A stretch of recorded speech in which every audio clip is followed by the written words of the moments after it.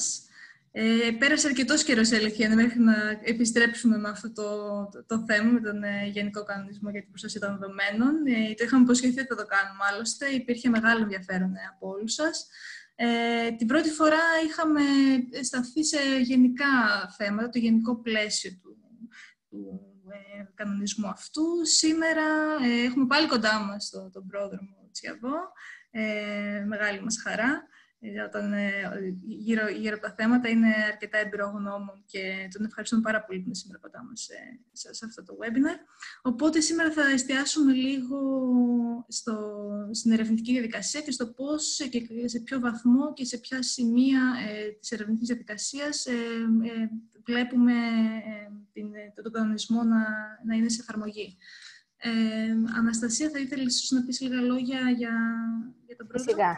Θα αναφέρουμε ένα μικρό βιογραφικό για τον πρόδρομο, εν συντομία, παρόλο που το ερευνητικό του έργο είναι πολύ μεγάλο. Λοιπόν, ο πρόδρομος Διαβός είναι νομικός σύμβουλος στο Ερευνητικό Κέντρο Αθηνά και στο PNR. Είναι επικεφαλής της Διεύθυνσης Ψηφιακής Πολιτικής και Ανάπτυξης του Ομίλου Ωνάση και επισκέπτης ερευνητικός εταίρος στο University College London και έχει σπουδάσει νομικά στο Πανεπιστήμιο της Αθήνας και του Λονδίνου και διαχείριση πληροφοριακών συστημάτων στο LSE. Είναι κάτοχος διδακτορικού σε θέματα δικαίου και πληροφοριακών συστημάτων από το LSE και έχει κάνει μεταδιδακτορική έρευνα σε θέματα ρύθμισης τεχνολογίας στο Πανεπιστήμιο του Όσλο. Έχει πραγματοποιήσει περισσότερες από 150 δημοσιεύσεις και παρουσιάσεις σε θέματα ανοιχτών τεχνολογιών επιστήμης των δεδομένων, πολιτικής και στρατηγικής για τη διανοητική ιδιοκτησία και καινοτομία. Ο λόγος σε σένα, πρόδρομα. Σας ευχαριστώ πάρα πολύ. Ε, Εμείς θα... ευχαριστούμε που έχουμε μαζί μας. Και εγώ ευχαριστώ που βρισκόμαστε και κάνουμε αυτή την παρουσίαση σήμερα. Ε, σήμερα θα ήθελα να μιλήσουμε ξανά για το Γενικό Κανονισμό πηγαίνοντας πάλι επίσης σε κάποια βασικά, χωρίς να είμαστε εξαντλητικοί σε ορισμούς όπως ήμασταν την προηγούμενη φορά, αλλά προσπαθώντας να δούμε πώς η διαδικασία ε, της ε, λειτουργίας του Γενικού Κανονισμού εντάσσεται μέσα στην ερευνητική διαδικασία. Δηλαδή, θα πάμε πάλι λίγο στα γενικά του Γενικού Κανονισμού, θα προσπαθήσουμε λίγο να καταλάβουμε ξανά, να υπενθυμίσουμε τη δομή της προστασίας δεδομένων προσωπικού χαρακτήρα, όπως εμφανίζονται στο Γενικό Κανονισμό, και στη συνέχεια θα αρχίσουμε να μπαίνουμε στις λεπτομέρειες που αφορούν ειδικά στο θέμα της επιστημονικής έρευνας, το οποίο αποτελεί και την κυρίαρχη, ε, αν θέλετε, νομική βάση, με την οποία πραγματοποιείται επεξεργασία μέσα στο επιστημονικό περιβάλλον και η οποία κυρίως μας αφορά εδώ.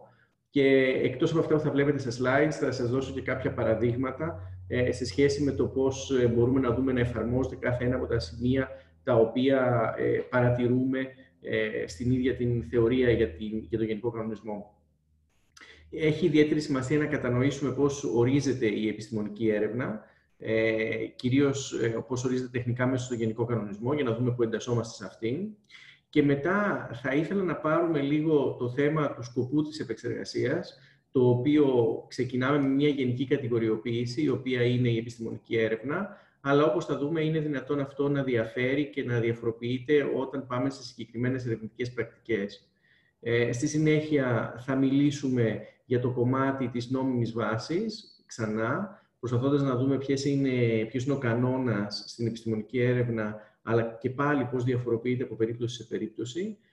Ένα πολύ σημαντικό κομμάτι το οποίο βλέπουμε στο Γενικό Κανονισμό και είναι ένα ερώτημα που το εφαρμόζουμε είναι η άσκηση των δικαιωμάτων του υποκειμένου ε, επεξεργασίας των δεδομένων ε, και τέλος θα δούμε κάποιες συγκεκριμένες ε, υποθέσεις, κάποιες συγκεκριμένες περιπτώσεις, τις οποίες είδαμε και μέσω, έχουν προκύψει και μέσα από ερωτήσεις που λαμβάνουμε από τα nodes ε, συνολικά τα, μέσα στο, στο, στο πλαίσιο του OpenAI. Ε, όπως και την περασμένη φορά, ήθελα να ξεκινήσω από τον ορισμό του Γενικού Κανονισμού και να πάω στον τίτλο. Σας είχα πει και την άλλη φορά ότι είναι σημαντικό να κατανοούμε ότι ο Γενικός Κανονισμός έχει ως στόχο να, να επεξεργαζόμαστε δεδομένα. Αυτό, ακόμα και στον τίτλο βλέπουμε ότι μιλάει για την ε, προστασία των δεδομένων προσωπικού χαρακτήρα και για την ακρίβεια την προστασία των φυσικών προσώπων από την επεξεργασία των δεδομένων προσωπικού χαρακτήρα, αλλά μιλάει ο Γενικός Κανονισμός και για την ελεύθερη κίνηση των δεδομένων αυτών εντός της ενιαίας ψηφιακής αγοράς. Ε, αυτό δεν πρέπει να το ξεχνάμε ποτέ, γιατί ε, πρέπει πάντοτε να σκεφτόμαστε όχι το εάν ε, το πώς η ύπαρξη προσωπικών δεδομένων μας μπλοκάρει το να κάνουμε τη δουλειά μας, αλλά πώς πρέπει να κάνουμε την επεξεργασία ώστε να μπορούμε να κάνουμε τη δουλειά μας. Ε, κατά συνέπεια, αυτό είναι ένα κεντρικό σημείο στην σκέψη μας και ακόμα και σε διατάξεις όπως οι διατάξεις για τις ειδικές κατηγορίες δεδομένων, αυτό που παλιά λέγαμε ευαίσθητα προσωπικά δεδομένα, πρέπει και αυτές να ειδωθούν κατά τέτοιο τρόπο ώστε να ε, δούμε τι είναι οι προϋποθέσεις προκειμένου να επεξεργαστούμε τα δεδομένα αυτά. Ε, αυτό γιατί το λέω τις περισσότερες φορές όταν κάνουμε έρευνα ειδικά στις επιστήμες υγείας και ζωής, ε, θα έχουμε να κάνουμε με ευαίσθητα προσωπικά δεδομένα. Αντίστοιχα προβλήματα θα αντιμετωπίσουμε όταν κάνουμε πρωτογενή έρευνα πεδίου σε κοινωνικές επιστήμες και μιλούμε για πράγματα τα οποία έχουν να κάνουν ε, είτε με την εθνοτική καταγωγή του προσώπου το οποίο ρωτάμε. Για παράδειγμα, θέλουμε μια συγκεκριμένη εθνοτική ομάδα μέσα σε μια χώρα να κάνουμε μια στατιστική έρευνα, για παράδειγμα, για το COVID ε, θέλουμε να δούμε ποιο είναι η επίδραση του COVID στους ε, οικισμούς των Ρωμά. Στην περίπτωση αυτή έχουμε ειδική κατηγορία δεδομένων. Εάν πάμε στο σχετικό άρθρο του Γενικού Κανονισμού, ξεκινάει με την έκφραση ότι απαγορεύεται η προστασία, απαγορεύεται η επεξεργασία των ε, ειδικών κατηγοριών ε, δεδομένων προσωπικού χαρακτήρα. Ωστόσο, αν μπούμε πιο μέσα στο κείμενο, μας εξηγεί υπό ποιους όρους επιτρέπεται. Άρα, σε κάθε περίπτωση, η ύπαρξη και μόνο είτε προσωπικών είτε ευαίσθητων, δηλαδή ειδικών κατηγοριών ε, δεδομένων προσωπικού χαρακτήρα, αυτό θέλω να το θυμόμαστε όλοι, δεν σημαίνει ότι σταματάει η έρευνά μας. Πάμε τώρα λίγο να δούμε πάλι τη βασική δομή της επεξεργασίας δεδομένων προσωπικού χαρακτήρα, γιατί αυτό είναι το κομμάτι το οποίο ε, ως σχήμα έχει μεγάλη σημασία να το κατανοήσουμε, καθώς μας βοηθάει να καταλάβουμε στην ερευνητική διαδικασία πώς μπορούμε να λειτουργήσουμε. Το πρώτο κομμάτι που πρέπει να κάνουμε είναι να μπορούμε να προσδιορίσουμε τα προσωπικά δεδομένα μέσα στην έρευνά μας. Δηλαδή, όταν ξεκινάμε την έρευνά μας, εφόσον έχουμε συλλογή δεδομένων, πρέπει να κάνουμε το ερώτημα αν τα δεδομένα αυτά είναι προσωπικά και περαιτέρω αν πρόκειται για ειδική κατηγορία δεδομένων προσωπικού χαρακτήρα. Προσωπικά δεδομένα, να θυμίσω, είναι οποιαδήποτε δεδομένα μπορούν έστω και δυνητικά να συνδέσουν το πρόσωπο με τα δεδομένα αυτά. Δηλαδή, δεν είναι απαραίτητα ότι πρόκειται για απευθείας αναγνωριστικά στοιχεία του προσώπου, όπως είναι ο αριθμός ταυτότητας ή η εικόνα του προσώπου. Μπορεί να είναι και έμεσα στοιχεία. Κλασικό παράδειγμα είναι όταν κάνουμε μιας μορφής, ας πούμε, στατιστική έρευνα και μέσα από τη στατιστική έρευνα αυτή προκύπτει ότι υπάρχει μόνο ένα πρόσωπο με αυτά τα χαρακτηριστικά, για παράδειγμα, στο δείγμα που έχουμε. Στην περίπτωση αυτή, μιλάμε για προσωπικά δεδομένα. Άλλες περιπτώσεις είναι στα ιατρικά δεδομένα, τα οποία πολύ συχνά, και φέρνω συνεχώς παραδείγματα από το COVID, γιατί είναι ενδεικτική η περίπτωση των ημερών. Εάν έχουμε στατιστικό δείγμα το οποίο είναι τόσο μικρό, ώστε μπορούμε να φτάσουμε στη στατιστική μονάδα, Καταρχάς, όπως μας λένε και οι κανόνες της εθνικής στατιστικής, τουλάχιστον στο ελληνικό πλαίσιο, ε, έτσι κι αλλιώς αυτό δεν πρέπει να γίνεται. Αλλά εάν πρόκειται, υπάρχει πιθανότητα να το βρούμε, πρέπει να δούμε πώς μπορούμε να προστατεύσουμε το πρόσωπο. Θα γυρίσουμε σε αυτό στη συνέχεια. Το δεύτερο κομμάτι είναι να καταλάβουμε το είδος της επεξεργασίας που κάνουμε. Γιατί το λέω αυτό; Ε, το έχουμε πει και άλλες φορές, η επεξεργασία, άμα τη σπάσουμε σε τρία κομμάτια, δηλαδή εισαγωγή δεδομένων, κυρίως διαχείριση των δεδομένων και εξαγωγή των δεδομένων, θα δούμε ότι πολύ συχνά Στις τρεις φάσεις κάνουμε διαφορετικά πράγματα και έχουμε διαφορετικούς και σκοπούς και νόμιμες βάσεις. Θα επανέλθω σε αυτό το ερώτημα στη συνέχεια. Απλώς να πω ότι τις περισσότερες φορές συλλέγουμε τα δεδομένα για τον ερευνητικό μας σκοπό, αλλά μπορεί να τα διατηρούμε για άλλους λόγους. Για παράδειγμα, συλλέγω, παίρνω μια σύντομη χρηματοδότηση από το ΙΟΣ, πάλι παίρνω το κλασικό παράδειγμα του COVID, για να κάνω μια επιδημιολογική έρευνα. Η νόμιμη βάση εισαγωγής των δεδομένων μου είναι, έχει ως σκοπό την επιστημονική έρευνα και η νόμιμη βάση είναι, ας πούμε, ο, το δημόσιο σκοπός ή η συγκατάθεση. Ωστόσο, τα δεδομένα αυτά θα πρέπει να τα διατηρήσω για μεγάλα χρονικά διαστήματα, ενδεχομένως και πέντε χρόνια μετά τη λήξη της έρευνας, γιατί αυτό μου επιβάλλει η Ευρωπαϊκή Ένωση για λόγους λογοδοσίας, για auditing, ε, και τέλος, ε, θέλω σε συνέχεια να τα διαθέσω ως ανοιχτό σύνολο δεδομένων. Πρόκειται για τρεις πράξεις διαφορετικού χαρακτήρα και κατά συνέπεια θα πρέπει να δω για κάθε μία από αυτές αν έχω την ίδια νόμιμη βάση.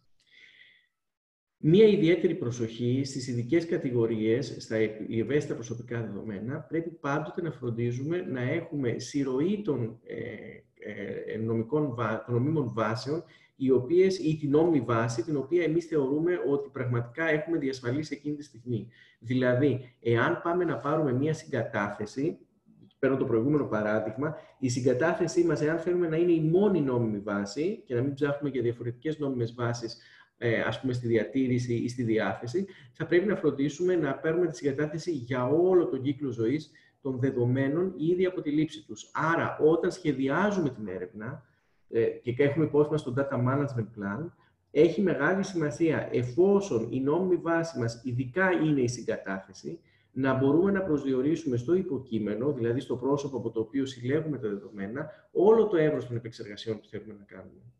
Ε, αντίστοιχα, είμαστε, ε, πρέπει να είμαστε βέβαιοι ότι ε, καλύπτει η νόμιμη αυτή βάση το σύνολο των σκοπών που έχουμε κάθε φορά. Θα επανέλθω σε αυτό το κομμάτι. Πάμε τώρα λίγο να δούμε το πλαίσιο στο οποίο εντασσόμαστε. Είμαστε ερευνητές μέσα σε έναν ερευνητικό οργανισμό.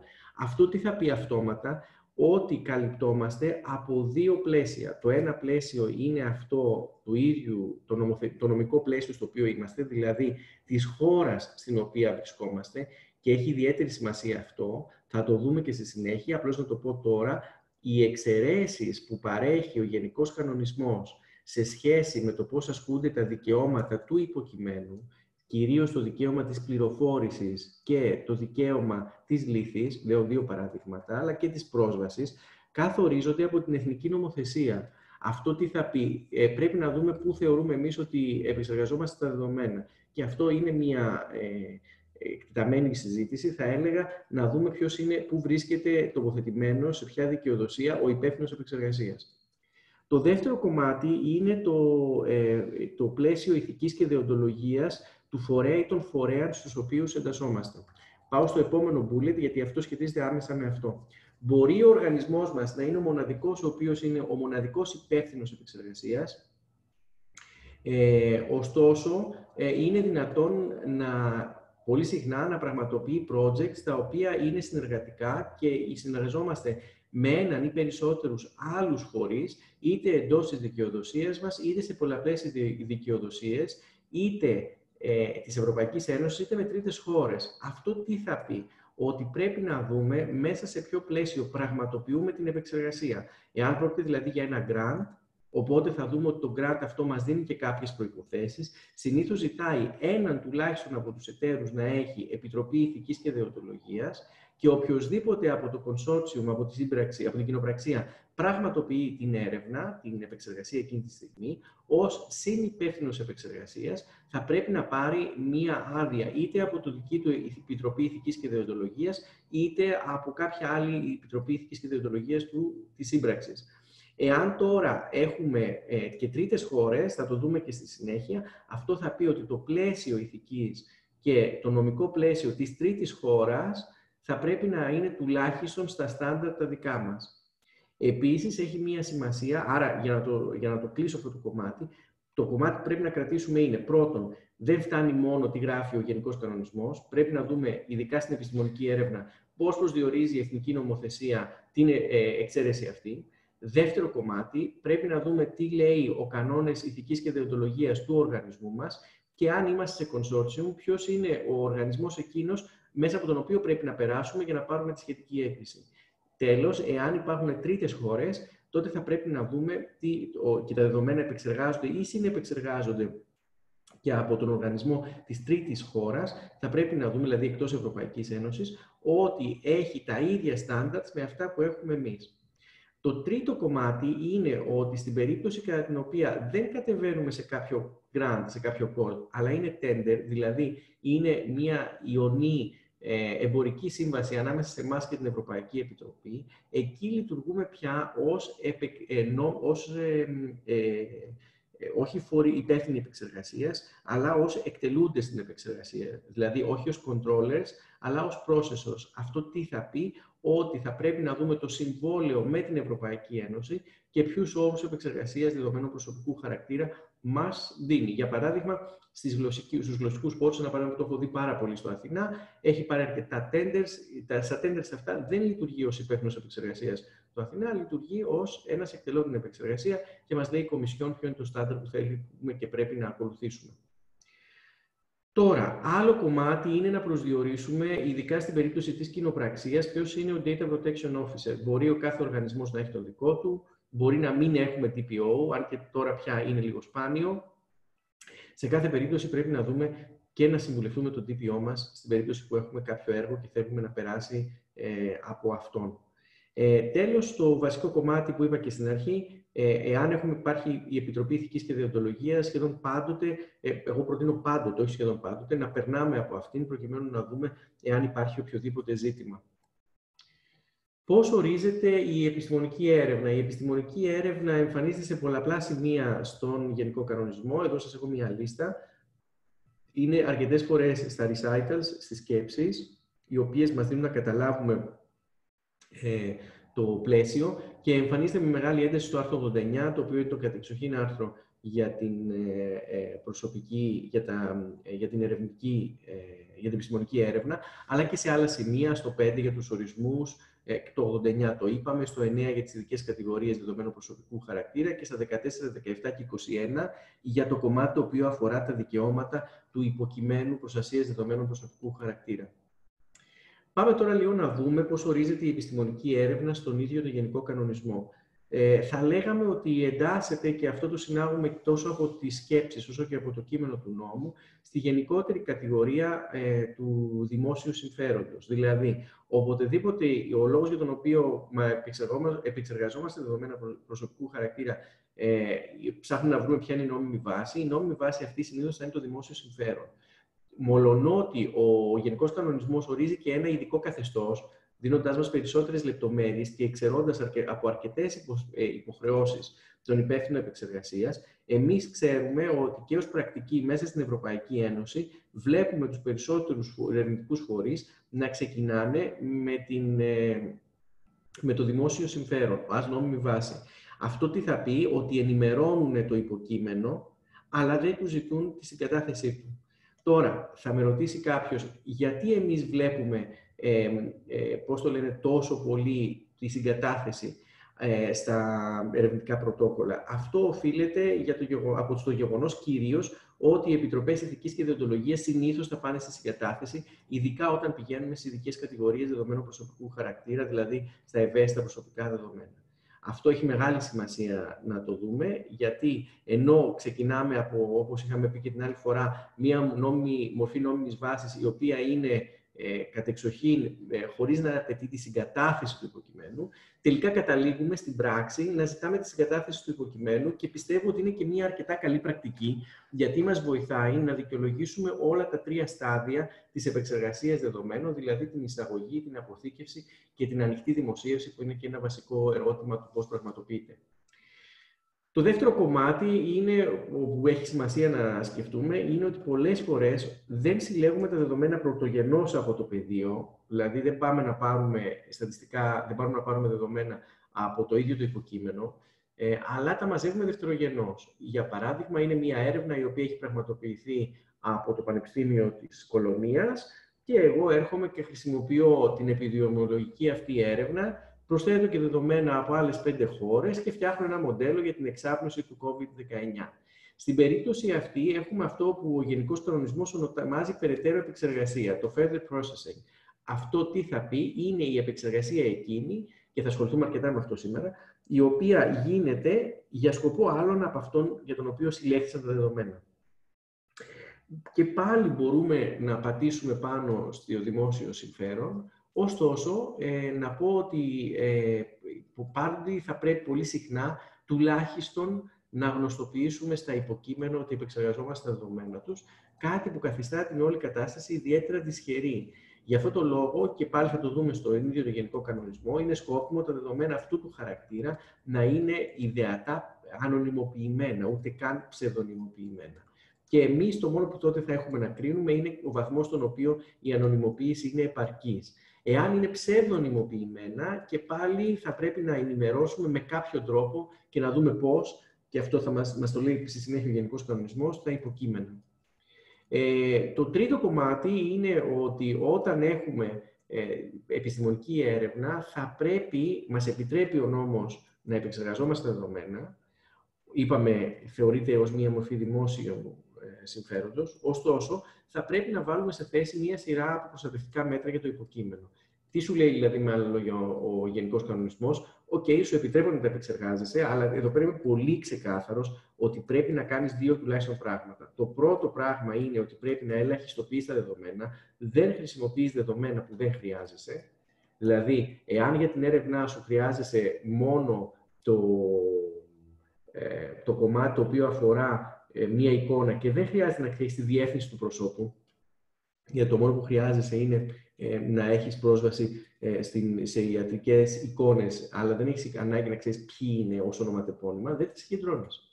Εδώ λοιπόν έχουμε πιο αυστηρούς κανόνες ελαχιστοποίησης των δεδομένων και το δεύτερο κομμάτι είναι η ε, ε, ψευδονυμοποίηση, την οποία αναφέραμε και προηγουμένως, δηλαδή η χρήση ενός ε, κωδικού ουσιαστικά για τα υποκείμενα, το οποίο μπορεί να ανακτηθεί στη συνέχεια από εμένα, αλλά δεν μπορεί να ανακτηθεί από οποιονδήποτε άλλον έχει πρόσβαση στα δεδομένα αυτά.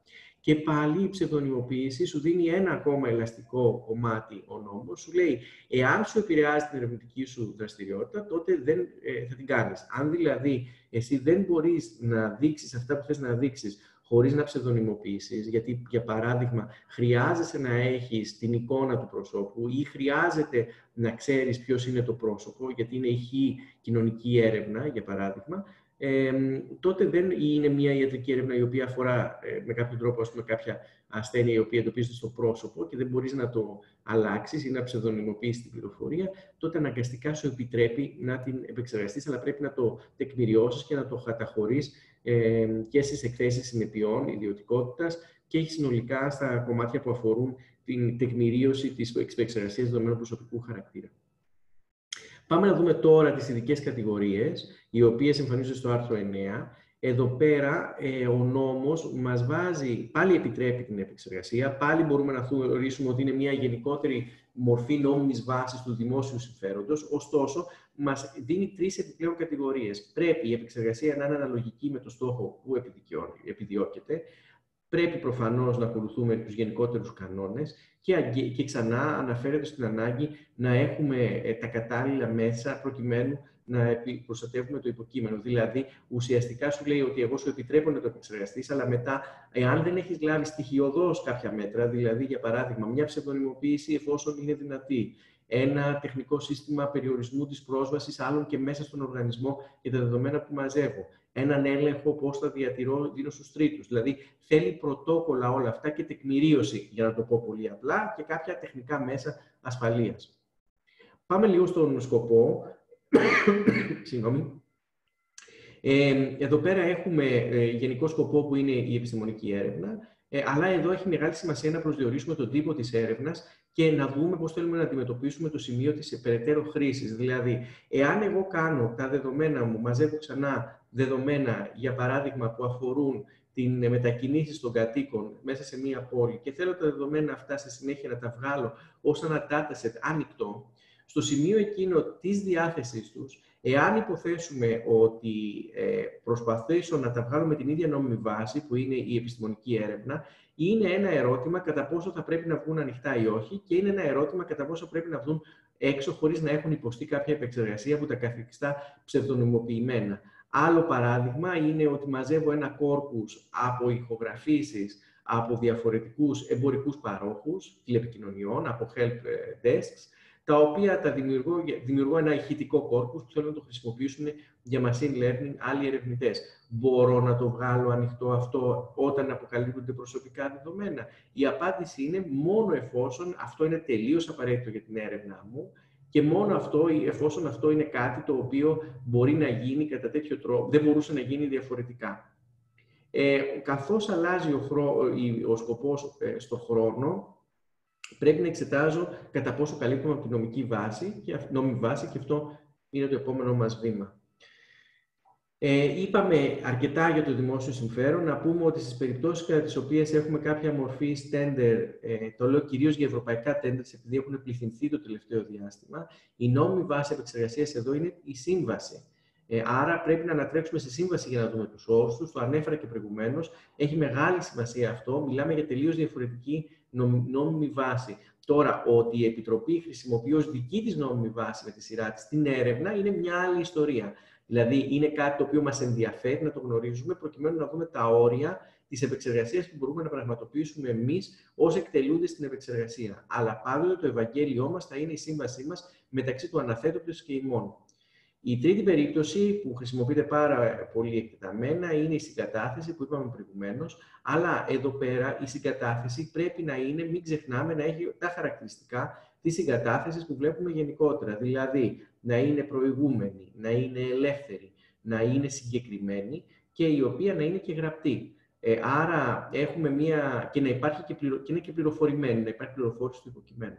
Άρα η συγκατάθεση έχει όλα αυτά τα χαρακτηριστικά και πρέπει και να τεκμηριώνεται καθώς πηγαίνουμε από ένα είδος επεξεργασίας σε άλλο. Πάμε λίγο να δούμε το κλασικό μας διάγραμμα σε σχέση με τις νόμιμες βάσεις. Βλέπετε ότι έχω πρασινίσει το public interest γιατί αυτή είναι η κυρίως βάση με την οποία κινούμαστε. Από εκεί και πέρα είναι δυνατόν να έχουμε και νόμιμη υποχρέωση, στην περίπτωση κατά την οποία η έρευνα πραγματοποιείται ε, από έναν ιδιωτικό φορέα ως αποτέλεσμα υποχρέωσής του εκ του νόμου. Για παράδειγμα, είναι υποχρεωμένος ένας φορέας ιδιωτικός να συγκεντρώνει χ στοιχεία. Μπορεί να το δούμε αρκετά αυτό ε, στην περίπτωση του COVID-19. Μπορεί να το δούμε ενδεχομένως ε, σε κάποιους ιδιωτικούς φορείς, είτε είναι εταιρείες οι οποίες παρέχουν αυτά που λέμε utilities, δηλαδή έχουν να κάνουν και με, την, με τις τηλεπικοινωνίες κυρίως.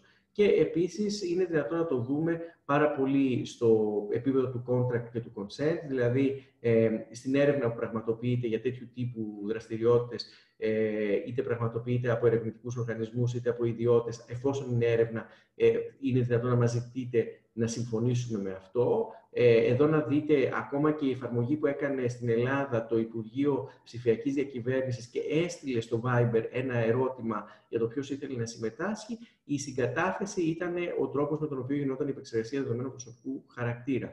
Είναι όμως ε, δυνατόν να έχουμε και σύμβαση, δηλαδή εξαρτάται ε, τι είναι η περίπτωση. εδώ πέρα θα το δούμε αυτό αρκετά στις περιπτώσεις συμβάσεων εργασίας.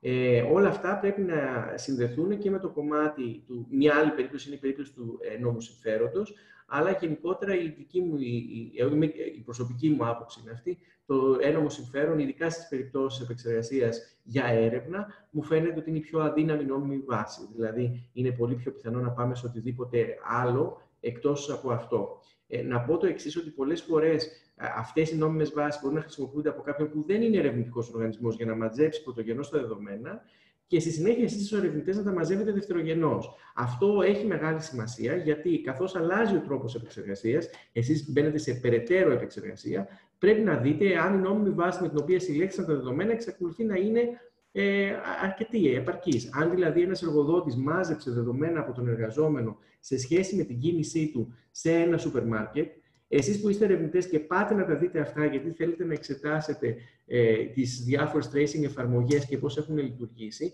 αν πάρετε τα δεδομένα αυτά και δεν είναι ανωνυμοποιημένα, θα πρέπει να υπαχθείτε σε όλες τις ε, ε σε, στο σύνολο των ε, όρων που αφορά η περαιτέρω χρήση δεδομένων προσωπικού χαρακτήρα. Δηλαδή, πρέπει να δείτε το consent του εργαζόμενου, το contract μάλλον του εργαζόμενου με τον εργοδότη του. Καλύπτει εσάς που είσαστε ερευνητής. Δηλαδή, έγραφε στο contract του, στο συμβόλαιό του, ότι μπορούσε να τα δώσει σε ερευνητές. Αν δεν το έγραφε, τότε θα δούμε και στη συνέχεια ότι θα δει, πρέπει να δείτε εάν θα συναγόταν και επειδή ειδικά στο παράδειγμα που αναφέρω δεν συνάγεται κάτι τέτοιο, το πιο πιθανό είναι ότι θα πρέπει να ανατρέξετε σε εκ νέου consent εκ μέρους του χρήστη. Θα μπορού, του υποκειμένου. Θα μπορούσατε ενδεχομένως να πάτε και σε public interest, σε δημόσιο συμφέρον, αλλά και πάλι θεωρώ ότι κάτι τέτοιο δύσκολο θα παίρνει από μια Επιτροπή Ηθικής και Διοντολογίας. Κατά συνέπεια, πρέπει να παρακολουθήσουμε την ζω... τον κύκλο ζωής των δεδομένων ε, και καθώς διαφορετικοί τύποι επεξεργασίας μπορούν να σημαίνουν να κρύβουν από πίσω τους διαφορετικούς σκοπούς επεξεργασίας και φυσικά διαφορετικές νόμιμες βάσεις. Και είναι απαραίτητο να μένουμε στην νόμιμη βάση μας κάθε φορά. Ε, ανέφερα το παράδειγμα των εργαζόμενων προηγουμένως, αλλά μπορείτε να σκεφτείτε και άλλα πράγματα, δηλαδή δεδομένα τα οποία συλλέγονται για λόγους δημοσίου συμφέροντος από το έναν δημόσιο φορέα, για παράδειγμα από ένα νοσοκομείο δημόσιο το οποίο πραγματοποιεί στατιστική έρευνα για το COVID-19.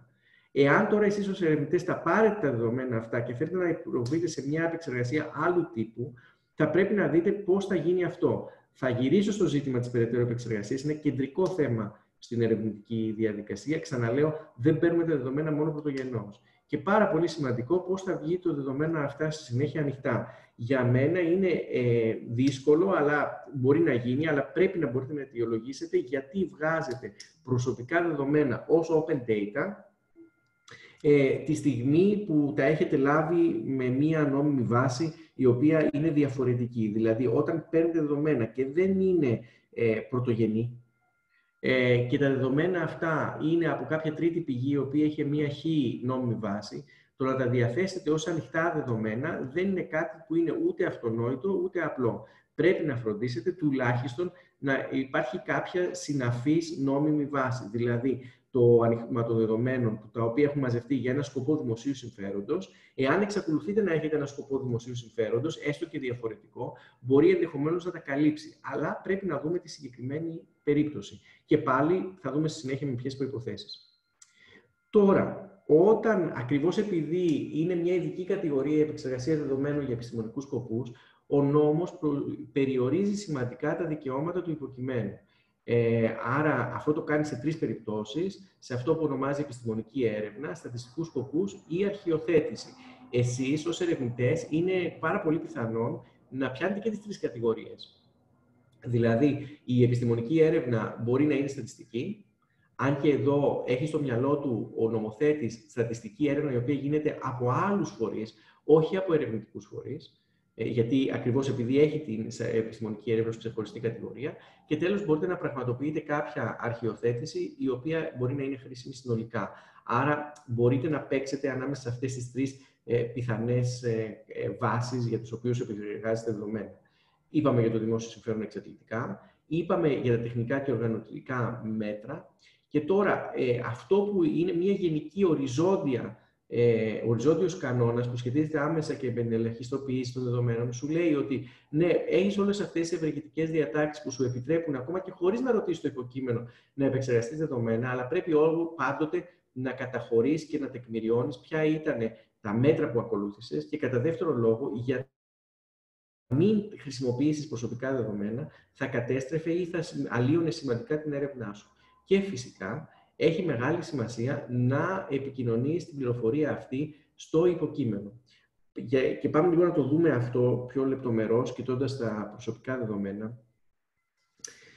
Ε, το, το υποκείμενο που επεξεργασία δεδομένου προσωπικού ε, χαρακτήρα ε, είναι δυνατόν να ενημερώνεται με δύο τρόπους. μία περίπτωση είναι όταν δεν, έχει, δεν έχει είσαστε εσείς ως που έχετε μαζέψει τα δεδομένα Δηλαδή, ξαναλέω το κλασικό παράδειγμα, τα μαζέψατε είτε από ένα ιδιώτη ή από το δημόσιο, που τα είχε συλλέξει για, άλλο, για άλλη νόμιμη βάση. Στην περίπτωση αυτή, δεν υποχρεούστε να τους ενημερώσετε παρά μόνο όταν η ενημέρωση αυτή θα ήταν ε, αδύνατη ή θα είχε πάρα πολύ μεγάλη προσπάθεια. Για παράδειγμα, γνωρίζετε τα πρόσωπα σε μία βάση ως ονοματεπώνυμα, αλλά δεν έχετε στοιχεία επικοινωνία τους και δεν μπορείτε να τα βρείτε από τον φορέα ο οποίος συνέλεξε τα δεδομένα. Παίρνω το κλασικό πάλι παράδειγμα του COVID. Κάνω μια επιδημιολογική, έχω τα ονόματα, αλλά δεν μπορώ να βρω τα email τους. Δεν μπορώ να επικοινωνήσω μαζί τους. Δεύτερη περίπτωση είναι η περίπτωση της πληροφόρησης θα κατέστρεφε ουσιαστικά την έρευνα. Τώρα αυτό είναι κάτι το οποίο είναι δύσκολο να το αιτιολογήσεις γιατί θα κατέστρεφε την έρευνά σου ε, τη στιγμή κατά την οποία ε, ακριβώς η ενημέρωση αυτή θα έδινε στο ε, υποκείμενο τη δυνατότητα να εναντιωθεί στην επεξεργασία που κάνεις. Δηλαδή, ο λόγος για τον οποίο κάνεις την επεξεργασία αυτή, είναι, την ενημέρωση αυτή είναι για να ενημερώσεις το υποκείμενο ότι ξέρεις, επεξεργάζομαι τα δεδομένα σου, άρα, ναι, μεν δεν σου ζητάω το consent, ναι, μεν πατάω πάνω στη, στο δημόσιο συμφέρον, αλλά έχεις τη δυνατότητα να εναντιωθείς. Κατά συνέπεια, όταν το να μην, ε, δεν μπορώ να σκεφτώ αυτή τη στιγμή κάποιο συγκεκριμένο παράδειγμα, για το οποίο θα μπορούσε κάποιος να πει ότι δεν τον ενημερώνω, ενώ μπορώ, γιατί αυτό καταστρέφει την έρευνά μου. Τέλος, πρέπει να φροντίσεις να λάβεις τα κατάλληλα μέτρα προκειμένου να διαφυλαχθούν τα ένομα συμφέροντα του υποκειμένου. Αυτό πολύ πρακτικά στην περίπτωσή μας είναι να του επιτρέψει να εναντιωθεί. Αυτό είναι το βασικό, ένα βασικό κομμάτι. Πάμε στο δεύτερο κομμάτι, στο δικαίωμα ε, στο οποίο υπάρχει στις λύθεις που λέμε, μπορεί να ε, εναντιωθείς όταν αυτό θα κατέστρεφε την έρευνά σου. Εδώ είναι πολύ πιο εύκολο να αιτιολογηθεί. Πολύ συχνά πρέπει να διατηρηθεί η έρευνα για αυτή για να, να την έχω ως control group, για να μπορώ να την χρησιμοποιήσω περαιτέρω. Άρα το δικαίωμα της λύθης de facto νομίζω ότι θα είναι αρκετά δύσκολο να ασκηθεί πάνω σε ερευνητικά, ε, σε ερευνητικά δεδομένα. Το δικαίωμα του της εναντίωσης πάλι είναι ε, ε, δυνατόν να σταματήσει, να σταματήσει στην περίπτωση που υπάρχει δημόσιο συμφέρον. Βλέπετε εδώ ότι δίνει μία εξαίρεση η οποία επαναλαμβάνει ουσιαστικά πολύ έντονα την νόμιμη βάση με την οποία έγινε η επεξεργασία. Δηλαδή, ενημερώνω το υποκείμενο, το υποκείμενο πλέον ξέρει και το υποκείμενο μου λέει ότι εγώ δεν τα δεδομένα μου που αφορούν το COVID-19 να μην τα επεξεργαστείς. Ωστόσο, επειδή εδώ έχουμε μία περίπτωση δημοσίου συμφέροντος, στο παράδειγμα αυτό ε, ε, μπορείς να πεις ε, δεν θα, θα συνεχίσω να τα επεξεργάζομαι.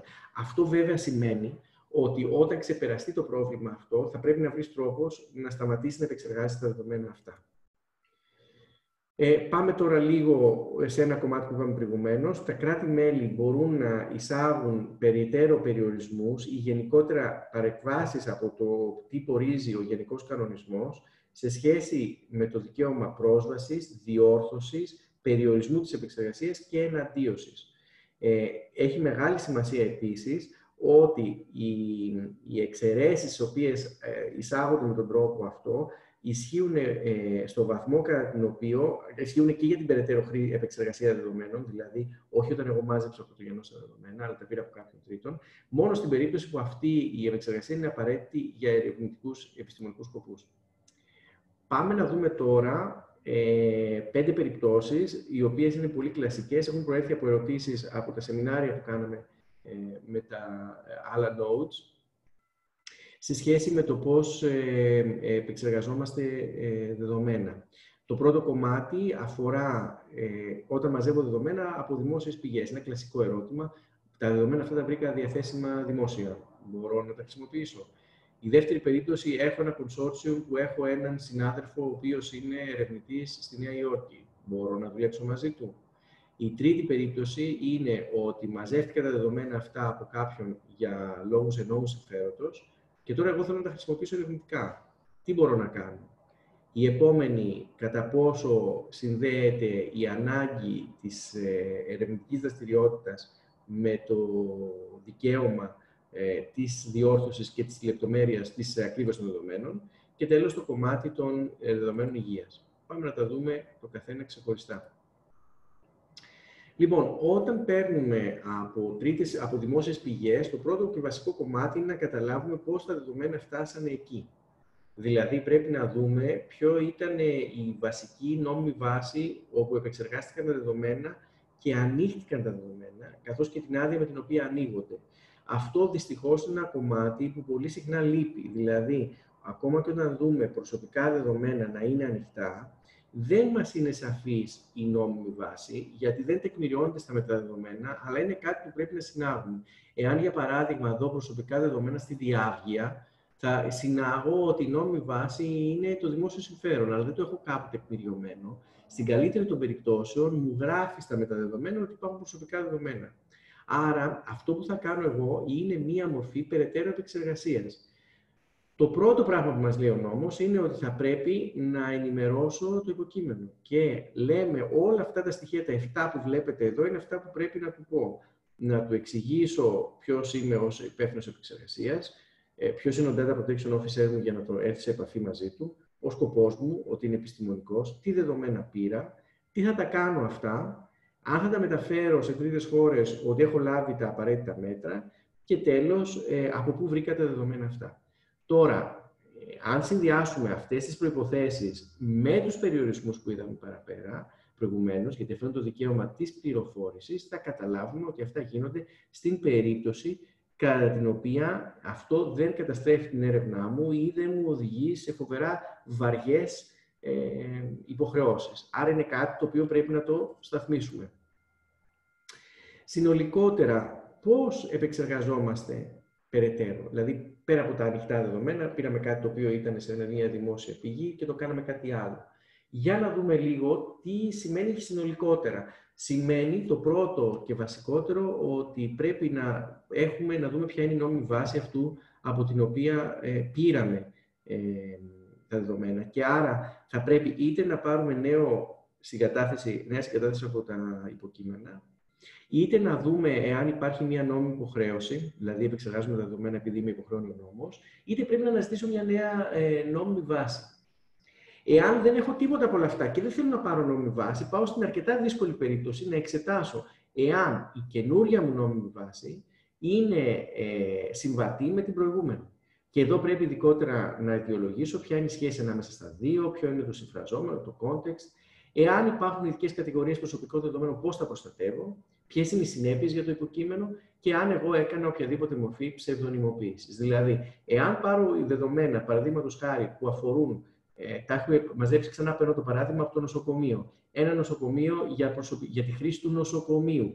Και εγώ θέλω να κάνω επιδημιολογική έρευνα συνολική σε 10 χώρες και μαζεύω και τα ελληνικά. Εάν δεν είχε πληροφορηθεί το, data, το υποκείμενο στην αρχή ε, και δεν θέλω να πάω ε, σε, νέο, σε νέα λήψη ε, συγκατάθεσης, θα πρέπει να εξηγήσω ότι είναι συναφείς οι νόμιμες βάσεις μας, και να εξηγήσω τι έκανα για να προστατέψω το υποκείμενο και σε ποιο βαθμό. Αυτό θα πει ειδικά, πρέπει να πω γιατί δεν τα ψευδονιμοποίησα, αν δεν τα ψευδονιμοποίησα.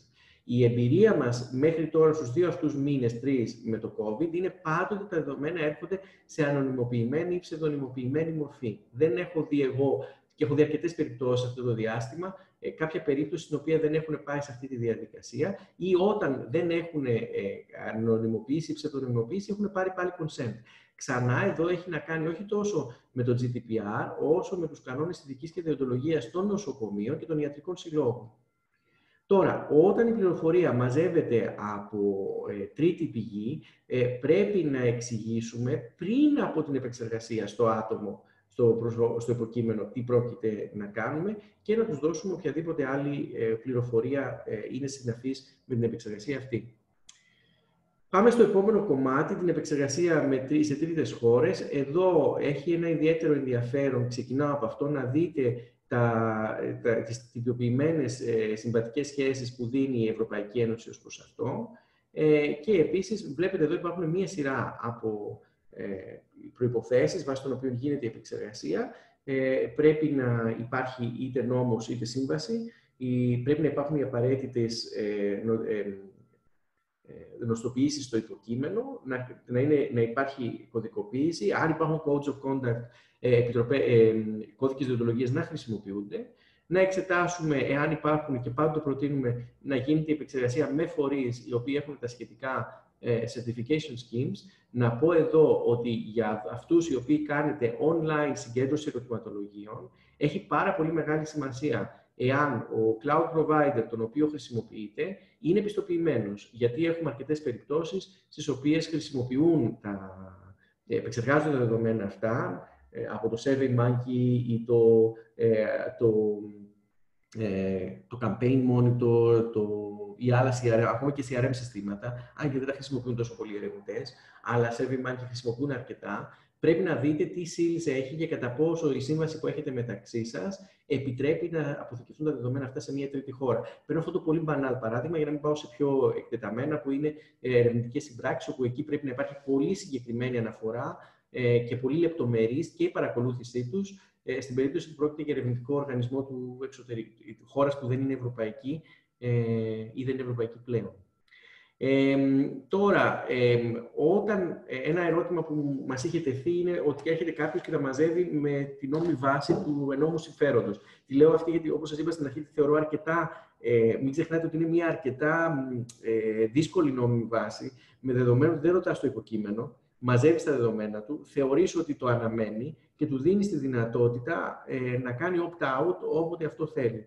Όταν εσύ λοιπόν τα πάρεις τα δεδομένα αυτά και υπάρχει η, το legitimate interest, προποθέτει από πίσω του μια σχέση εμπιστοσύνης ανάμεσα στον υπεύθυνο επεξεργαστή και στο υποκείμενο. Όταν λοιπόν υπησέρχεσαι εσύ ως τρίτος και κάνεις περαιτέρω χρήση, πρέπει να δεις πώς η περαιτέρω αυτή η χρήση ε, είναι σύμφωνη με, το, με την σχέση εμπιστοσύνης που υπήρχε η αρχική. Αν δηλαδή που μαζεύει τα δεδομένα αυτά, για παράδειγμα, ένας πολιτιστικός οργανισμός, 10 ελληνικοί πολιτιστικοί ε, οργανισμοί. Μαζεύουν τα δεδομένα αυτά προκειμένου να, δούνε, ε, προκειμένου να παρακολουθούν τους πελάτες τους ε, και να τους προσφέρουν προωθητικό υλικό.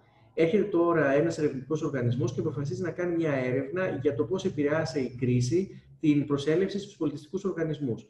Δεν μπορεί να πάρει να επεξεργαστεί τα δεδομένα αυτά χωρίς να τα ψευδονυμοποιήσει ή χωρίς να ενημερώσει τα υποκείμενα, ακριβώς επειδή είναι τελείως διαφορετική η μορφή της επεξεργασίας, ειδικά δε εάν εκτός από την όποια έρευνα κάνει και το όποιο ε, άρθρο που δημοσιεύσει, βγάλει και τα δεδομένα ως open data set. Ε, για τον λόγο αυτό είναι απαραίτητο να υπάρχει μια καθαρή ε, διαδικασία και εναντίωσης και διακοπής της επεξεργασίας και αυτό πολύ απλά σημαίνει ότι προτείνεται στην περαιτέρω αυτή επεξεργασία να υπάρχει οπωσδήποτε ένα URL για οποιοδήποτε αυτόματο opt-out, τουλάχιστον ένα email για να μπορούν να επικοινωνήσουν οι άνθρωποι και πάντοτε πρέπει να ε, κατεκμηριώνεται και να ε, καταγράφεται η, όλη η διαδικασία. Το ερώτημα της ελαχιστοποίησης ε, και το ερώτημα του κατά πόσο η περαιτέρω επεξεργασία συνάδει με την υποχρέωση λεπτομέρειας, που είναι μία από τις υποχρεώσεις, μία από τις αρχές ε, της, της, της προστασίας δεδομένου προσωπικού χαρακτήρα, προφανώς η περαιτέρω επεξεργασία επιτείνει την ανάγκη και για, λεπτο, και για ακρίβεια και για ελαχιστοποίηση. Αυτό νομίζω ότι ε, αυτόματα σημαίνει πολύ μεγάλη προσοχή στο τι δεδομένα χρησιμοποιούμε όταν τα έχουμε πάρει από τρίτη πηγή, οπωσδήποτε ενημέρωση του υποκειμένου, χρήση υποσυνόλου των δεδομένων αν είναι δυνατόν και ε, διαγραφή των δεδομένων όταν η διαδικασία έχει ολοκληρωθεί. Επίσης, δυνατότητα στο υποκείμενο να διορθώσει τα δεδομένα αυτά προκειμένου να είναι ακριβή. Ε, Φτάνοντας στο τελευταίο ερώτημα, λίγο αυτονόητο, αλλά θέλω να το τονίσω, οτιδήποτε, οποιοδήποτε δεδομένο αφορά η υγεία είναι ειδική κατηγορία δεδομένων προσωπικού χαρακτήρα. Πάει στο άρθρο 9 το οποίο προσθέτει 10 νόμιμες βάσεις στις υφιστάμενες 6 που έχουμε για την επεξεργασία, ε, σημαίνει κατά βάση πάρα πολύ μεγάλη προσοχή στο γιατί επεξεργαζόμαστε. Δηλαδή, είτε πρέπει στην πραγματικότητα να είναι μια ειδική μορφή νόμιμης υποχρέωσης ή δημοσίου συμφέροντος, ή να πάρουμε τελικά μια συγκατάθεση. Το λέω τώρα χοντροειδώ για να το θυμάστε. Άρα, οποτεδήποτε βλέπουμε ειδική κατηγορία δεδομένων, ε, προσωπικών δεδομένων, ε, δίνουμε πάρα πολύ μεγάλη προσοχή ποια είναι η νόμιμη βάση, πώς τα συλλέξαμε και τι θέλουμε να κάνουμε εμείς με αυτά. Σταματάω εδώ για να, δω και τις, να δούμε και τις ερωτήσεις. Δεν ξέρω, ε, Νατάσα και Έλλη, πώς θέλετε να πάμε. Να, να απαντήσουμε ναι, ναι. ερωτήσεις. Ωραία. Ευχαριστούμε, Πρόεδρε. Ναι. Ε, τις έχουμε συλλέξει. Εμείς μπορούμε να τις, να τις πάρουμε μία-μία και να τις απαντήσεις. Ναι, ναι. Λοιπόν, η πρώτη είναι τι είναι το DTO που αναφέρεται στο αρχικό slide; Συγγνώμη, είναι DPO, είναι ο Data Protection Officer. Ε, είναι ο υπεύθυνος ε, ε, ο, ο υπεύθυνος ε, προσωπικών δεδομένων, όχι υπεύθυνος επεξεργασίας. Συγγνώμη, απλώς το, το σεμινάριο αυτό προποθέτει ότι έχουμε μια βασική γνώση, γι' αυτό δεν πήγα στα βασικά. Ε, μπορεί και να το πήγα γρήγορα και να μην φαινόταν ότι ήταν πει ή να έχω τυπογραφικό λάθος. Ε, ο υπεύθυνος προσωπικών δεδομένων είναι ένα πρόσωπο το οποίο ευθύνεται στο να οργανώνει, να, να ελέγχει και να προτείνει ε, για την επεξεργασία δεδομένων προσωπικού χαρακτήρα σε έναν οργανισμό. Ο, η διοίκηση είναι αυτή η οποία αποφασίζει και οι εργαζόμενοι που παίρνουν τις εντολές, ο καθένας ανάλογα με τον οργανωσιακό του ρόλο, εκτελούν, είναι υπεύθυνοι να εκτελέσουν. Κατά συνέπεια και οι τρεις αυτές μορφές ε, δραστηριοτήτων, δηλαδή αυτός που ελέγχει ε, και οργανώνει, και οι άλλες δύο μορφές, αυτός που αποφασίζει και αυτός ο οποίος ε, πραγματοποιεί, υλοποιεί, ο καθένας έχει διαφορετικό είδος ευθύνης ανάλογα με το τι κάνει και ποιος είναι ο ρόλος του. Ε, υπάρχει ακόμη ένα Ε, το δεύτερο ερώτημα είναι για online ερωτηματολόγια. Τι θεωρείτε καλύτερο, παραδείγματος χάρη Google Forms ή SurveyMonkey ή κάποιον άλλο. Κοιτάξτε, εάν πάτε στα Google Forms, επειδή δουλεύετε ουσιαστικά σε μία δική σας, ε, ε, και στα Google Forms και στο SurveyMonkey, ε, λέω δύο παραδείγματα πάρα πολύ γνωστά, ε, θα πρέπει να δείτε ε, λίγο τους όρους οι οποίοι, με τους οποίους γίνεται η επεξεργασία. Και τα δύο είναι certified αυτή τη στιγμή. Ωστόσο, και στις δύο περιπτώσεις είναι σκόπιμο να γίνεται κάθε φορά ένας έλεγχος, ειδικά όταν μιλάμε για δεδομένα τα οποία είναι ευαίσθητα. Εγώ για τέτοιες κατηγορίες δεδομένων θα πρόσεχα πάρα πολύ. Ενδεχομένως να μην πήγαινα ε, σε cloud λύση αν δεν είχα διαβάσει, αν δεν είχα περάσει με το TPO μου ε, ή με οποιονδήποτε μέσα στον οργανισμό μου ε, ένα, να έκανα μια, έναν έλεγχο, ένα audit, τους όρους. Άρα δεν μπορώ να το απαντήσω γενικά. Πρέπει να δω ποιο είναι το συγκεκριμένο. Και οι δύο πάντως έχουν ένα μήνυμο προστασίας. Πολύ ωραία. Ευχαριστούμε, Πρόεδρε. Ε, υπάρχει και, υπάρχουν και άλλες ερωτήσεις.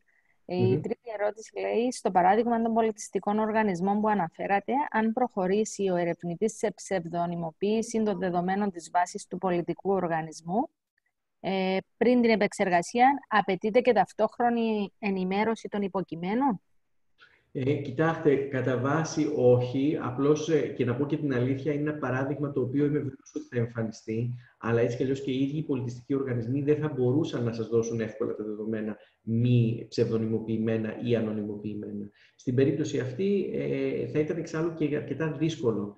Δηλαδή, έπρεπε να, αν σας δώσει ο οργανισμός ονόματα και email, θα πρέπει να τους ενημερώσετε. Εάν σας δώσει ονόματα, που είναι δύσκολο, ξαναλέω πρακτικά, γιατί είναι, ε, είναι, ένα, είναι μια πνευματική ιδιοκτησία του οργανισμού που δύσκολα θα την απεμπολίσει.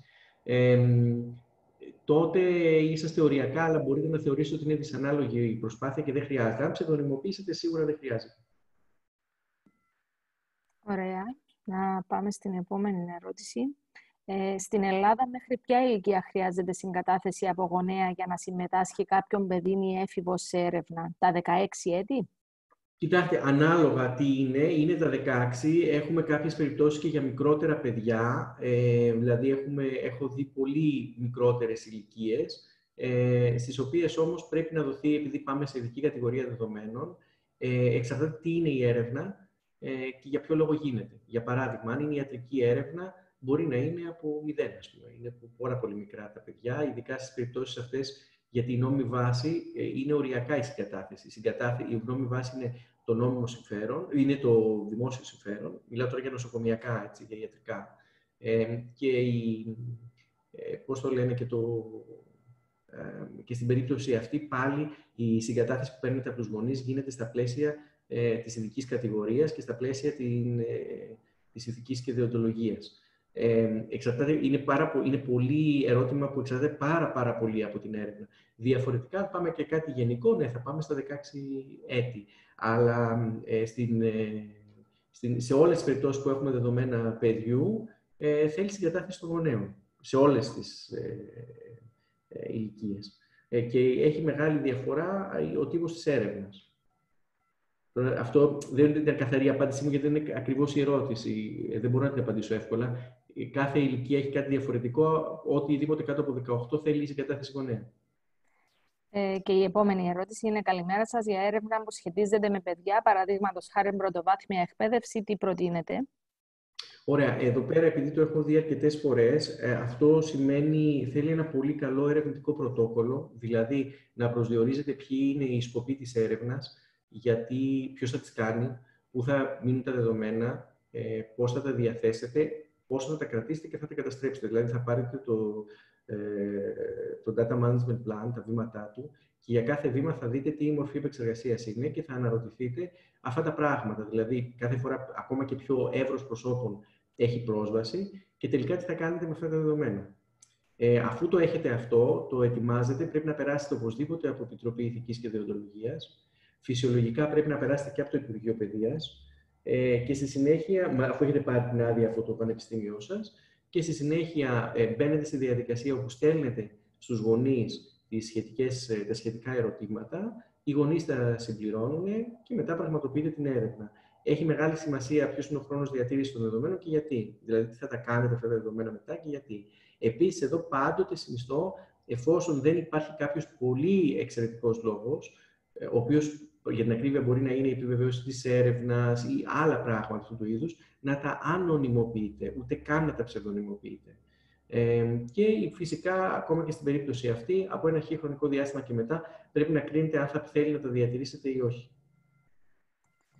Ωραία. Ο υπεύθυνος ε, προστασίας δεδομένων ενός πανεπιστημίου θεωρείται υπεύθυνος προστασίας δεδομένων για όλα τα ερευνητικά έργα που εκτελούνται στο πανεπιστήμιο αυτό; Είναι η επόμενη ερώτηση. Είναι πολύ καλή ερώτηση. Ε, ναι και όχι, δηλαδή είναι υπεύθυνος για οποιαδήποτε επεξεργασία πραγματοποιείται ε, εντός του πανεπιστημίου. Αν όμως το πανεπιστήμιο είναι σε ένα ερευνητικό κέντρο, σε ένα ερευνητικό πρόγραμμα που πραγματοποιεί τέτοιου τύπου επεξεργασία, αλλά δεν είναι το πανεπιστήμιο για αυτή την επεξεργασία ο υπεύθυνος, είναι για παράδειγμα είναι το ε, Πανεπιστήμιο Κύπρου και έχει στην ε, έρευνα να γίνεται και από την λειψία. Ε, αν η λειψία είναι αυτή η οποία καθορίζει τους όρους και τις προποθέσει και δεν έχει συμμετοχή ε, στη συλλογή και την επεξεργασία το Πανεπιστήμιο, τότε δεν μπορεί να θεωρήσει ότι είναι υπεύθυνο γι' αυτό. Άρα, τα ερευνητικά προγράμματα θέλουν μια προσοχή. Πρέπει να δεις εάν επεξεργάζεσαι δεδομένα και γιατί. Στα ερευνητικά πακέτα, τι προτείνω, τι είναι τα κομμάτια τα οποία έχουν συνήθως προσωπικά δεδομένα. Όποιος παίρνει δημοσιότητα έχει προσωπικά δεδομένα και πρέπει να δει πώς τα μαζεύει, δηλαδή κυρίως πώς κάνει τη διάχυση του έργου.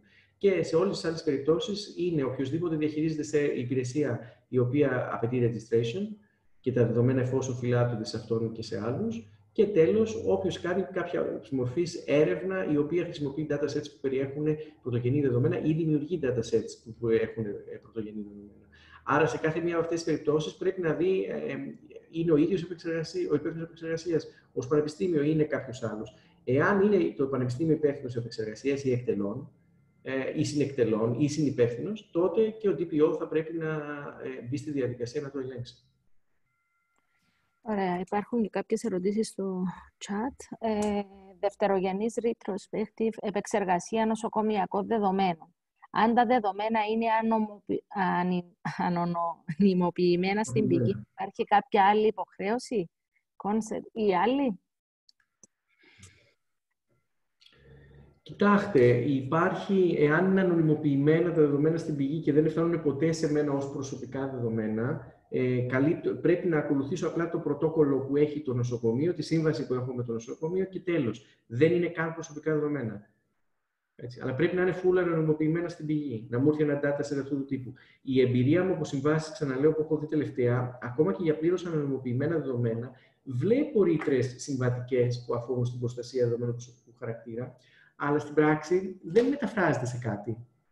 Δηλαδή, αν μου έρθει ένα dataset με νούμερα και άλλα νούμερα και δεν μπορώ να βρω κανένα προσωπικό δεδομένο από αυτά, δεν μπορώ να καταλάβω εγώ τι υποχρέωση να έχω. Και γι' αυτό θεωρώ ότι ακόμα και αν υπάρχουν τέτοιες υποχρεώσεις στο ε, συμβόλαιό μου, ε, είναι υποχρεώσεις οι οποίες θα πρέπει να τις ερμηνεύσω ότι ισχύουν στο βαθμό που σε κάποιο τρόπο πατάνε στα προσωπικά δεδομένα. Ωραία. Στο ερώτημα για το αν μπορούν να έχουν την παρουσίαση, θα απαντήσω εγώ, γιατί έχουμε αναφέρει ότι με τη λήξη του webinar θα διαμοιραστούν σε όλους τα αρχεία της παρουσίασης και η βιντεοσκόπηση, καθώς και στο αποθετήριο του Πανεπιστημίου Κύπρου, το οποίο θα ανέβει εντός ημερών. Ε, θα ενημερωθείτε. Θα σας τα λέει ξεχωριστά email στον καθένα. Ε, κάποια άλλη ερώτηση; Υπάρχει ακόμα μία, αλλά δεν είναι ακριβώς ερώτηση ε, στο, στο chat. Λέει φωτο, ναι, ναι. φωτογραφίες για σκοπούς ιστορικής έρευνας. Δεν ξέρω αν θα ήθελε αυτό, όποιος έχει κάνει την ερώτηση να, να γράψει κάτι παραπάνω σε αυτό. Ναι, σωστά. Το μόνο που μπορώ να πω εδώ, χωρίς να καταλαβαίνω πλήρως, είναι ότι αν, κάνω έρευ... αν μπορώ να τραβήξω φωτογραφίες για σκοπούς ιστορικής έρευνας και να τα κρατήσω, με δεδομένο ότι τα πρόσωπα είναι τα πρόσωπα που είναι. Ε, δηλαδή, αν τραβήξω φωτογραφίες για να δω πώς ήταν ε, οι... Ε, συγγνώμη, ξανάρχεται. Αν περνάνε σε δευτερογενείς πηγές. Λοιπόν, το παίρνω ένα-ένα. Τραβάω φωτογραφίες στην ε, Λευκοσία ε, για να δω πώς ήταν στο χρόνο της κρίσης. Έτσι. Και τραβάω τις φωτογραφίες αυτές και τις εμφανίζω μετά στη συνέχεια, γιατί, θέλω, γιατί είναι Πρέπει να δούμε τι είναι. Αν είναι δηλαδή ε, επιστημονική έρευνα, ιστορική έρευνα ή αρχείο. Ε, μετά αφού τις έχω αυτές τις φωτογραφίες, για να τις τραβήξω, πρέπει να κρίνω κατά πόσο αυτό το πράγμα ε, είναι κάτι το οποίο ε, η ζημιά που θα λάβει, δηλαδή θέλει μια στάθμιση, δεν είναι τόσο απλό. Ε, εάν πρόκειται για ένα γενικό πλάνο που πήρε κάποιος στην τύχη ε, και δεν μπορώ ούτε να τους ενημερώσω, μπορώ να καλυφθώ. Εφόσον γίνεται πραγματικά για σκοπούς ιστορικής έρευνας και εφόσον έχω τη, δώσω τη δυνατότητα στη δημοσίευση, οποιοδήποτε θέλει να απαλληφθεί το πρόσωπό του να το ζητήσει. Δηλαδή, αυτό που δεν μπορώ να κάνω σε επίπεδο συγκατάθεσης, θα πρέπει να το καλύψω με παροχή δυνατοτήτων εναντίωσης, ε, εφόσον φυσικά αυτό δεν καταστρέφει τελείως την έρευνά μου για να θυμηθούμε τους περιορισμούς στα δικαιώματα του υποκειμένου. Κατά συνέπεια, επί της αρχής θα έλεγα ναι, μπορούμε να τραβήξουμε, αλλά πρέπει να δούμε ότι αυτό αυστηρά υπηρετεί την έρευνά μας. Δεν μπορώ να το δω δηλαδή αυτό μετά σε μια εφημερίδα ή σε ένα site ειδησιογραφικό ή σε μια καλλιτεχνική έκθεση. Ε, αν τώρα ο άλλος το πάρει για δευτερογενή πηγή, δηλαδή εγώ το έβγαλα για έρευνα και έρθει ο Χ και θέλει να το περάσει σε μια έκθεση, κανονικά θα πρέπει να εξετάσει αν καλύπτεται, εξακολουθεί να καλύπτεται από την ίδια νόμιμη βάση. Εάν δεν καλύπτεται από την ίδια νόμιμη βάση, θεωρώ ότι το να πάει, σε, για παράδειγμα, σε νόμο συμφέρον, εφόσον δεν μπορεί να πάρει consent, δεδομένου ότι δεν υπάρχει, δεν ξέρω ποιο είναι τα πρόσωπα, δεν υπάρχει δημόσιος σκοπός, δεν υπάρχει νόμιμη υποχρέωση, δεν υπάρχει κίνδυνο ζωής θανάτου, ε, δεν μου μένουν και πολλά πράγματα. Μου μένει μόνο το consent. Έτσι. Μου μένει μόνο η νόμιμη βάση, η νόμιμη, το νόμιμο συμφέρον. Το να πάρω λοιπόν εγώ τη φωτογραφία που βρήκα ενός ερευνητή από ένα περιοδικό ε, επιστημονικό και να την κάνω μια έκθεση για το πώς ήταν οι διάφορες πόλεις της Ευρώπης κατά το χρόνο της κρίσης, ε, νομίζω ότι είναι, δύσκολα θα ε, υποστηρίξει τις προϋποθέσεις της περαιτέρω χρήσης του GDPR, ε, γιατί δεν βρίσκω ούτε συνάφεια, ούτε σχέση και θεωρώ ότι δεν είναι δυνατόν να προσβάλλει και το υποκείμενο. Βέβαια, κάποιος μπορεί να το δοκιμάσει.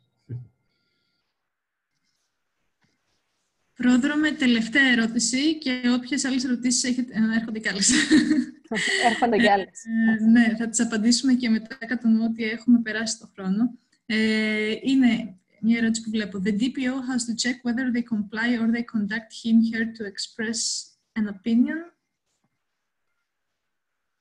contact, μήπως... Contact, μάλλον θέλει να πει. Η... Ο, ο, ο, ο DPO ε, δίνει διαρκώς ένα πλαίσιο, ε, αλλά δηλαδή δεν μπορεί να παρακολουθεί τα πάντα όσο γίνονται σε έναν οργανισμό. Έχει υποχρέωση η διοίκηση να έρχεται σε επαφή μαζί του. Ε, οπότε λέει αυτό στην άποψή του, ή αυτή λέει την άποψή της, και στη συνέχεια η διοίκηση αποφασίσει αν θα το λάβει υπόψη της ή όχι. Ε, η ευθύνη του DPO είναι αυτή τη στιγμή έλαβε γνώση ενός θέματος να πράξει. Ο σκοπός της διοίκησης είναι να, να δράσει. Δηλαδή, ο ένας θα προτείνει, ο άλλος θα αποφασίσει όμως. Έχει διαφορετικό τύπο ευθύνης ο καθένας. Ε, Ωραία, και, και ναι. πολύ γρήγορα στην επόμενη. Και όποια, ό,τι υπόλοιπες ερωτήσεις υπάρχουν, μπορούμε να, μπορείτε να τις βάλετε, να μας στείλετε email. Θα, πρώτα με έχεις πάνω στην παρουσίασή σου το email σου; Νομίζω το είδα, ναι, ναι, το είδα. Έχω το παλιό μου, αλλά είναι, ε, ναι, θα σας το στείλω την παρουσίαση με, το, με, το, με την αλλαγή που έχει γίνει. Λειτουργεί και αυτό, αλλά θα σας δώσω το σωστό.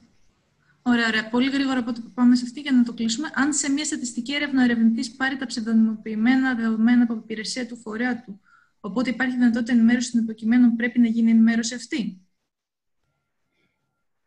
Δεν είμαι σίγουρος ότι καταλαβαίνω. Ε, δηλαδή, ο, ο ερευνητής πάρει, είναι, είναι, έχει πολλαπλές υπηρεσίες η, το πανεπιστήμιο, το ερευνητικό του κέντρο ή είναι ερευνητή σε κάτι δημόσιο και έχει μαζέψει μία υπηρεσία τα δεδομένα, ψευδονιμοποιημένα ε, και αυτός θέλει να κάνει κάτι άλλο, είναι περαιτέρω χρήση εντός του φορέα.